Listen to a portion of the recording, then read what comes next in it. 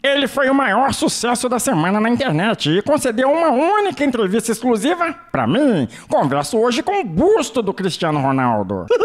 Olá, fãs, sou o Fish. É, busto do Cristiano, como isso aconteceu? Era pra sair um busto, saiu uma bosta. Na era do scanner 3D é imperdoável. Sabes de nada, inocente. Fosse eu um busto normal e não tivesse esses olhinhos juntos e esse sorrisinho idiota, tu achas que alguém falaria desta homenagem? Então, então foi de propósito? Mas é claro, pai, estou a atrair milhares de turistas para fazer selfies comigo.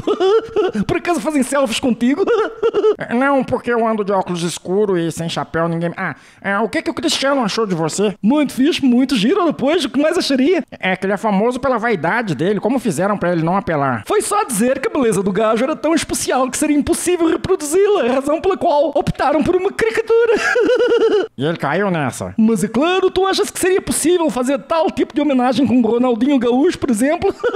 É, acho que qualquer busto do Ronaldinho ficaria engraçado, né? É, bate bola, jogo rápido, uma inspiração. Jesus, Não sabia que você era religioso. o Jesus restaurado de Borja. Sacanagem. Um desejo. Hum, Mudar de nome. Não quer ser Cristiano Ronaldo? Não quero ser busto. Por que estão me chamando de busto se esse cara tem tetas? Ai, boa noite. Você é feliz, né? Sou uma estátua, esse é meu estado natural. Por sorte, não esculpiram-me a chorar.